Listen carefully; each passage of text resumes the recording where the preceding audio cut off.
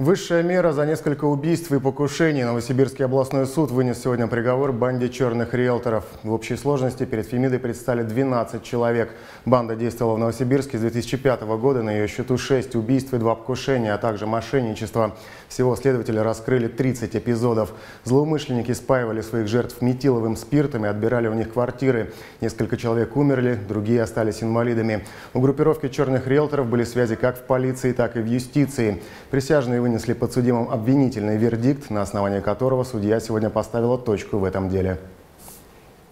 Подсудимые признаны виновными э, практически по всем э, эпизодам преступной деятельности, которые обвинялись органами предварительного следствия.